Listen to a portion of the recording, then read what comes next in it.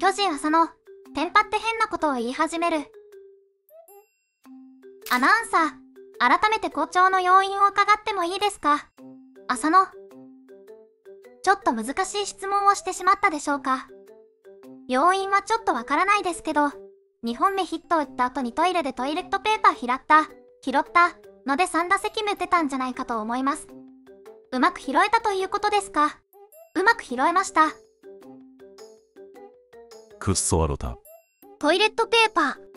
滑ったか。何言ってんのご飯たくさん食べるじゃなかった。トイレの神様。意味がわからん。どういうことだよ。